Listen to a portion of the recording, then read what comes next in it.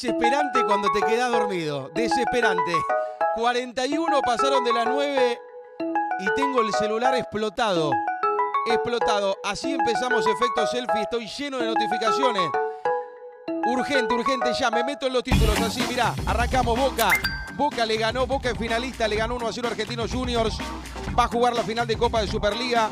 Lo va a hacer el próximo 2 de junio frente a Tigre. Esta es la final en este estadio, en el barrio Alberto Kempes, en Córdoba.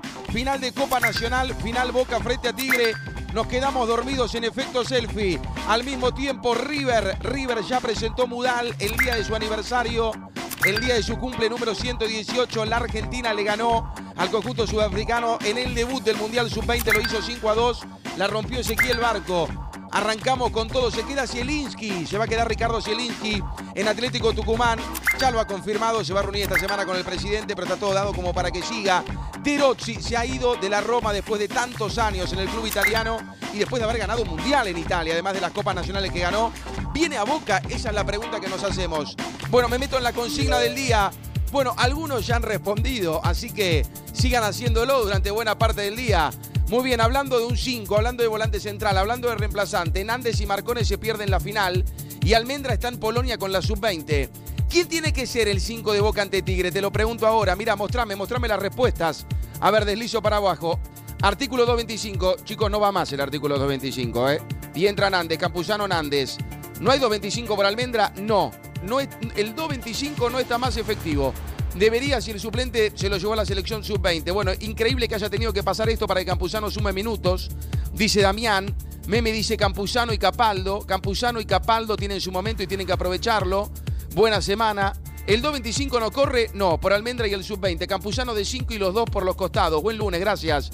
Me meto en boca ya. Bueno, sigo resolviendo acá lo que son las respuestas y leyéndolas. Pero mira, boca, así en esta manera lo repasamos en efecto selfie. Mirá la despedida que hacían los hinchas de Argentinos Juniors. Que ha levantado mucho en 2019, más allá del último lugar en Superliga, arrastrado en la primera parte. todo esto me trae recuerdo, lo tengo a mi viejo que está en el cielo, que me trae acá tenía 4 años, de argentino, así que feliz. Ya eliminaron a dos grandes, pueden eliminar al tercero hoy. Sí, le ganaban a San Lorenzo, le ganaron a Independiente. Sí, sí, yo lo veo, como- lo veo muy bien a los jugadores bastante concentrados y confiados como para que no eliminen un grande marcador. Viste que hay bastante polémica con los árbitros en la bombonera. Hoy dirige Tello. ¿Están preocupados? ¿Están tranquilos?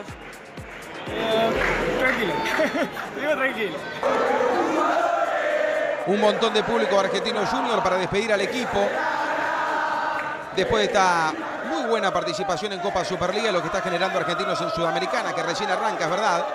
Pero con mucho recambio ganó entre semana. Mirá este dron extraordinario para mostrar a la bombonera en el contexto de su aniversario al mismo tiempo, porque el sábado 25 de mayo cumplió años, uno de los estadios más emblemáticos y simbólicos de la historia del fútbol argentino y de la actualidad, con esa acústica tan característica que lo hace un escenario tan vibrante para el público, para los espectadores que van al estadio cada tanto, ni que hablar para los jugadores. La arenga de Argentinos Juniors y el bicho con un montón de futbolistas que vienen teniendo un nivel superlativo. Desde su arquero Chávez, uno de sus marcadores centrales, estamos hablando de Quintana, el buen trabajo de Battaglini que retornaba para este juego. Y al mismo tiempo todo lo que realiza Alexis McAllister, quien venía fallando un poco en la generación, no tuvo su mejor partido en la ida y apareció de ratos en la vuelta. Bueno, esta enmarca un poco el momento de Darío Benedetto, con tiempo, con espacio. Dame una. Mirando al cielo, ¿no? Eh, vas a saber con qué referencia, pero lo concreto es que para Darío Benedetto y para Boca los minutos se seguían acumulando sin poder convertir. La chance de Alexis McAllister. Bueno, de Boca, ¿qué estaremos hablando a lo largo de toda esta semana? De un equipo que es muy ordenado, que mejoró sensiblemente en su defensa, que al mismo tiempo también su arquero se manifiesta con una seguridad tremenda y que puede cortar esta racha después de 325 minutos sin hacer un gol y que sigue acumulando minutos sin que le conviertan. Es un gol que tiene alguna polémica por cómo salta Lisandro López. La verdad que da la sensación que hay un empujón, pero es más el apoyo que otra cosa. Acá cuesta mucho cobrar infracción, esa es la verdad. Pasó en el partido de Racing frente a Tigre cuando Pérez Acuña convirtió sobre la hora un gol muy parecido, más allá de que el centro fue desde más lejos en aquella oportunidad. Bueno, ¿qué vemos en Boca? ¿Vemos un equipo con oficio? Sí. ¿Vemos un equipo con carácter? Sí. ¿Vemos un equipo vistoso? Valga la redundancia, no, la verdad que no es un equipo vistoso. Es un equipo que juega fuerte y a veces le pasan estas cosas. Por ejemplo, pierda su volante central titular en un escenario de ausencia para el puesto de número 5. Pero gana los partidos. La verdad que Alfaro gana los partidos. Después estará eh, eh, el tiempo, llegará el tiempo de enamorar. Y habrá que ver con qué proyección este equipo jugando así puede llegar muy lejos. Hasta ahora viene cumpliendo con todos los objetivos. Clasificación a próxima Libertadores, buen puesto en Superliga, Supercopa Argentina ganada, octavo de final de la Libertadores y final de Copa de Superliga. Mérito hay. Tengo una forma de jugar que por ahí voy a, a toda la jugada y no me cuido ni un poquito y a veces bueno me cuesta caro como ahora. Jugamos con cuatro o cinco jugadores que era la primera vez que jugaban en la bombonera. Así que muy orgulloso, la verdad, se los dije recién en el vestuario, si me toca perder como ahora, que sea de esta manera. Creo que no está costando jugar. Este equipo tiene que jugar eh, un, poco, un poco mejor porque tiene jugadores, tiene buenos jugadores, jugadores de calidad y por ahí no, no- estamos encontrando ese, fútbol, pero, pero ya lo vamos a encontrar. Rescato el desgaste que está haciendo este equipo, lo- los huevos que tiene porque eso nos está llevando a la final. más allá de, de cosas, de, aciertos, de errores, de, de cosas que tienen, cosas que faltan. Felicité recién a los jugadores porque pusieron a Boca eh, en otra final nuevamente. Y si lo pusieron en otra final, eh, no es por las bondades futbolísticas que, que pueda llegar a tener este equipo, sino es por lo que este grupo es como grupo. Bueno, muy bien. Él seguramente estuvo llamando desde temprano. Llama a Tato Aguilera. ¿Cómo te va, Tato? Buen día para vos. Perdón por la demora. Perdón, Juanpa, yo también me quedo Ah, dormido. Te pido perdón, Juanpa. Bueno, arrancamos un poco más tarde. Es re complicado, terminé anoche muy tarde. Claro, El claro. partido, entre el post compromiso, compromiso, eh, la adrenalina justamente de un encuentro como el de ayer, que fue una semifinal, nos lleva a acostarnos tardes y bueno, yo también. Como vos, Juan Pablo, Ahí me está. quedo dormido. Así que Ahí está, bueno, pasa, pasa, ha pasado, ha pasado, ha pasado muchas veces a lo largo de la historia, ¿no? Por ahí de más jóvenes podía pasar Claro. más, más seguido. Eh, ahora, bueno, por ahí cuesta disimular. Bueno, la primera vez. Exactamente, no, de mi caso tampoco, quédate tranquilo. Bueno, escúchame. eh, bueno, la verdad que la sensación, la sensación de un equipo que gana, esto es lo importante, ¿no? Digamos, un equipo que gana, no sé hasta qué punto eh, la exigencia Sí. del hincha va a estar siempre presente. Pero por ahora da la sensación que alcanza. A veces hasta parece que lo dominan a Boca en los partidos, pero gana Boca. Creo que Lisandro López lo definió de manera perfecta. Por los jugadores, por la categoría que tiene Boca y la jerarquía, tiene que jugar mejor y es una materia pendiente, pero gana, consigue resultados, consigue objetivos, pasa de fase, llega a la final. Por ahí los equipos que mejor juegan no están en la final. Y Boca Juniors sí, va a enfrentar a Tigre, a un equipo que se pudo refundar en esta Copa de la Superliga después de su descenso y que tendrá justamente la posibilidad de Boca de jugar otra final más. Era el objetivo que querían y lo van a cumplir. Después, obviamente, hay 90 minutos, un rival que juega muy bien al fútbol y todo eso se verá el 2 de junio en Córdoba, donde Boca buscará ganar otra copa en poco tiempo. Bueno, muy bien, Tato. Eh, uno de los grandes temas del momento tiene que ver con Daniele Derozzi. Fue un anticipo tuyo, en algún momento sonaba descabellado, pero ¿sabés que da la sensación en general que esta historia no es una locura? Así como tantas veces futbolistas europeos fueron vinculados a Boca, esta parece que no es una locura, no sé cómo se ve desde allá adentro. Todos los caminos conducen a Roma y obviamente que Daniele De Rossi es el futbolista que Boca quiere incorporar, es un jugador importante, Burdizo tiene buena relación con De Rossi y el ofrecimiento está. Detrás mío está la bombonera y yo me voy a agachar para que la sigan viendo y justamente una de las frases fue, acá está tu casa, Daniele. Y el hombre que ayer se retiró de la Roma, ídolo total en la Roma, obviamente se, se- ve seducido por la bombonera, por Boca Juniors y todo esto. Creo que mm, es fundamental que él, que él diga que quiere venir a radicarse en la Argentina con su familia, porque si no, ningún tipo de negociación puede encaminarse, pero sí es una realidad, es un interés cierto y Boca Juniors ya hizo el contacto con Daniele De Rossi. Bueno, mira, vamos a ver la despedida, vamos a ver la despedida de lo que ha sido ayer Roma, porque la verdad que es uno de los futbolistas más emblemáticos, sobre todo por la cantidad de partidos que ha jugado en dicho estadio. Así que la veo ahora, en este momento, alguien que Si vos revisás su historia, mirá, mirá todo, todo la emoción, ¿no? La emoción de, un hombre que se ha formado allá. Que la temporada 2001-2002 empezó a, a tener presencia en la primera división de la Roma por Copas Nacionales cuando reunió tres partidos. La emoción del público de despedir a uno de los grosos. Este es un club que, claro, repite mucho a sus jugadores a lo largo del tiempo. Hablando de uno que lo tiene muy cerca, como Francesco Totti, que ha compartido momentos. Mirá la emoción de los hinchas de la Roma. Ha sido un momento terrible. Desde la 2001-2002, ahí aparecía Daniel Osvaldo, que sabe lo que es Boca y seguramente han hablado mucho, más allá de, de- de hablar burdizo. Y la manera de besar el estadio olímpico. Una animalada de partidos en su carrera en un mismo club. 459 partidos. Y si vas al total son 616. Si sumás todo tipo de copas, ¿no? Estamos hablando de la liga. Bueno, la cercanía con su familia. Es mucho tiempo defendiendo los colores de un equipo solo, además de, de la exigencia de un equipo de los tradicionales europeos. Ha formado parte de la selección de Italia, ha jugado Eurocopa, Confederaciones, ha jugado Mundiales de Fútbol.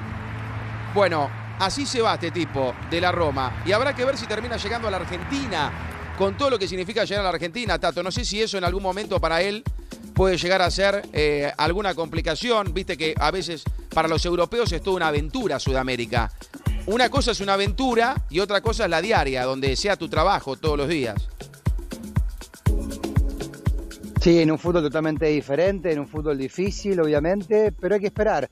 Los contactos están y hay que ver si termina justamente todo llegando a un puerto para que Daniel De Rossi se ponga la camiseta de Boca Juniors. Si hablamos de camisetas, mirá, creo que está esperando efecto selfie. Uy, qué bueno. Qué bueno para sortear la camiseta de izquierdos. Bueno, ya nos vas a contar, Tato, justo se congeló ahí. Sigo deslizando. Me meto en redes en este momento. Paso por todas las redes. Así me meto en Instagram. Mirá, Cristiano a pie. ¿eh? Mirá, muy bien. Después del entrenamiento, llegando al entrenamiento. Llegando del entrenamiento. Bueno, muy bien, acá está Cristiano Ronaldo. Muy bien. Bueno, tenemos tatuajes. La décima fuego. Ahí está, la Champions, madridismo en la piel, a la Madrid. Del Potro, que le regala un nene este momento inolvidable. Y seguimos observando a Pedro de la Vega, una de las jóvenes apariciones del fútbol argentino en 2018, apareciendo en la primera Lanús con la selección sub-20 en el triunfo frente a Sudáfrica. Paulo Dybala con camiseta alternativa de la Juventus. Agradecimiento para el cierre de la temporada, una temporada más donde ha sido campeón. Este es un TBT de lunes. Increíble volver a Old Trafford, volvió a jugar en Old Trafford por una buena causa, juntar dinero para la fundación benéfica del club. En realidad era actual, pero bueno, lo vinculaba al pasado, a David Beckham. Y este es el vestuario de la selección de Brasil. Con Neymar rompiéndola, con De Jesús, con Ederson y con Felipe Luis. Esto es increíble. En el pañal de un bebé encuentran marihuana en el ingreso del partido. La Ferrer frente a Deportivo Merlo. O la Ferrere, como más les guste. Muy bien, feliz cumpleaños a la bombonera, el aniversario número 79. El festejo de Lisandro López, estamos en la final, gran trabajo en equipo después de ser el autor del gol que corta con la racha de minutos de ineficacia de Boca Juniors. Chai Historis, Pipa Benedetto, el fenómeno, lo pone Kichán Pavón. En Instagram también. LeBron James. 14 años de competencias de triples, mejor lanzador 2023.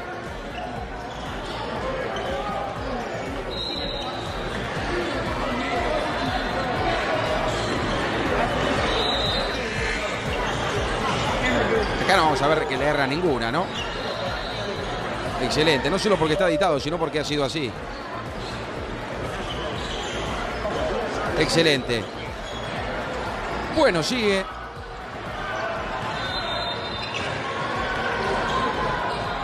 Y el triunfo para Lebron.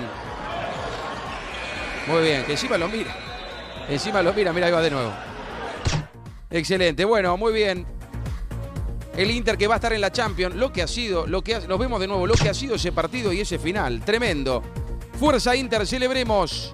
Y está Maurito Icardi, allí abajo también está Lautaro Martínez. Bueno, muy bien, lo que dejó la final de la Copa del Rey con Facundo Roncaglia, el ex Boca Juniors y la Copa del Rey después de vencer nada más y nada menos que al Barcelona, muy contento, recompensa. Ezequiel Garay también festeja. Simplemente gracias con la foto de todo el equipo y el saludo de Messi. Nos volveremos a levantar, dice Barcelona. Muy bien, vamos a seguir. Foto de el primer partido en el Monumental hace 81 años. Vamos River. Y Ezequiel Palacios, felices 118 años en el día del cumpleaños de River, que fue el pasado sábado. Esto posteaba en las redes levantando la Copa Libertadores 2018. Sí, con fecha selfie. Sí, Tucumán. A ver, yo creo que Atlético Tucumán no es inferior a Tigre, creo que somos superiores. Yo creo que lo puede dar vuelta. Muy bueno tu atuendo, ¿eh? Bueno, muy bien. Y muy buena esta imagen del Monumental José Fierro. La verdad que era un partido que en lo previo, bueno, era una de las hazañas más grandes. Y te digo de verdad, yo cuando digo la historia del fútbol argentino es porque es así, no es que por la frase hecha. Dar vuelta a un 0-5 en una instancia de Copa Nacional hubiese sido terriblemente histórico para el fútbol argentino, ¿eh? en todas las copas nacionales que se han jugado. Y no pudo pasar. Esta que rebotó Delfino, que tuvo un arbitraje muy criterioso, por cierto. La verdad que no fue comido por el contexto ni el escenario, ni ningún tipo de justificación para Atlético, que había perdido 5 a 0 la ida. Y no por eso, y, y no por eso tenía que estar en, en desventaja también adentro de la cancha. Bueno, cuestión es que va a sufrir la expulsión de Aliendro. Y se va a quedar con dos hombres menos. Acá Delfino no reguló, la verdad que no reguló, me parece.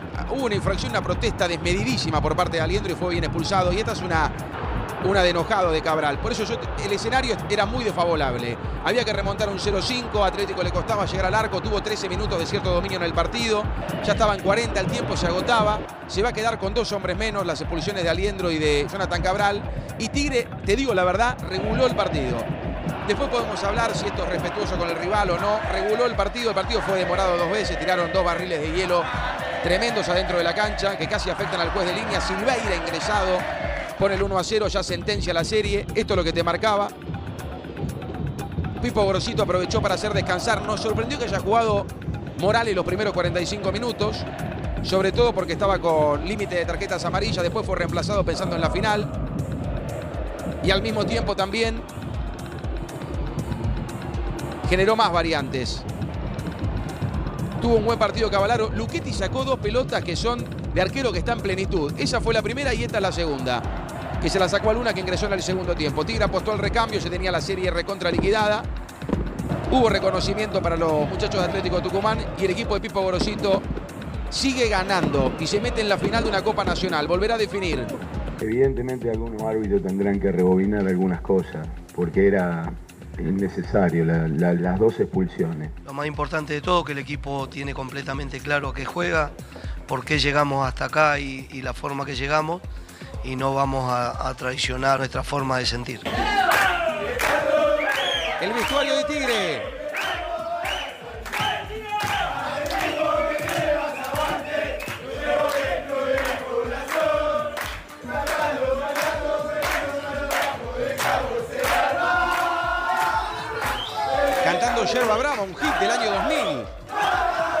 Que la gente de Tigre lo tiene incorporadísimo a su cancionero. Ya llegamos a Buenos Aires, la clasificación en la final en el bolsillo, era lo que querían, era lo que, lo que esperaban.